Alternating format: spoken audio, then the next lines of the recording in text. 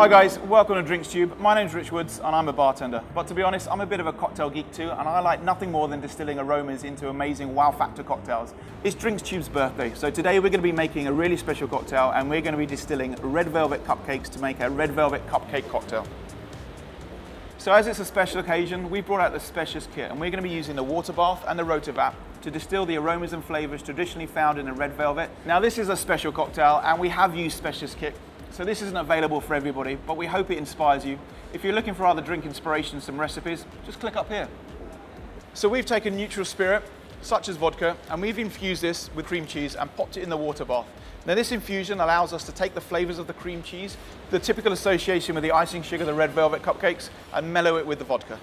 Now what we have here is this bad boy, the Rotovap. So how this works is we're heating the mixture, we're evaporating the alcohol. The alcohol is collecting against the cold condensing coils and dropping back down as a cream cheese flavor with the neutral spirit, leaving it crystal clear.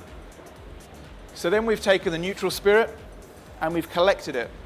So this is the cheese flavored neutral spirit. We've added chocolate essence and of course sugar. Now the great thing about making this yourself is you can control the sweetness by adding the amount of sugar that you want in your chosen liqueur. So to finish off the liqueur, we're going to add some salted caramel. Now this has been created by just burning some sugar and adding a pinch of salt. And to give us this beautiful red color, red food coloring. So now we have our red velvet cupcake liqueur. Cocktails for me are a labor of love. That was the labor, this is the love. So we're going to start stirring down this cocktail using the base ingredient of Dewar's 12 years. So to start, we're going to be adding 50 mils. So this whiskey is going to give us the smokier, the heavier notes of the base of this cocktail before we start adding the liqueur. Next, we're going to be adding 15 mils of our red velvet liqueur. So the liqueur is going to give us the creamy and the chocolatey notes to complement the whiskey. A final addition is a few drops of the chocolate bitters. Those six drops going to give us a really nice bitter finish to our cocktail. Now we're going to ice it up. Now we need to make sure we've got perfect dilution on this cocktail. Give that a quick mix.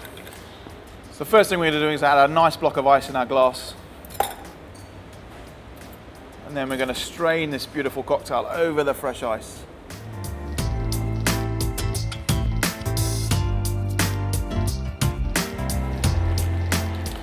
So here we have it, our red velvet cupcake cocktail. Now this is my best bit, so let's give this a try. Oh my God, that's amazing. The cream cheese really comes through and the chocolate works so well with the Dewar's. Happy birthday, Drinks Tube.